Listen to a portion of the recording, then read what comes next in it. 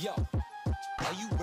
Good morning, we're here at the Camp Transformation Center in Inglewood. My name is Kim and I'm here with Krystel who is weighing in for her 20 pound challenge. She is starting on June 3rd, 2019. How are you feeling about this upcoming challenge? Good. Awesome. Good. awesome. We're going to go ahead and step on the scale. We're going to see where you start.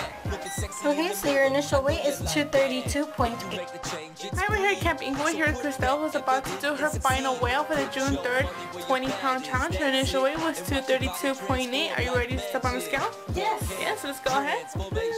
And her final weigh out is 210.4. Congratulations.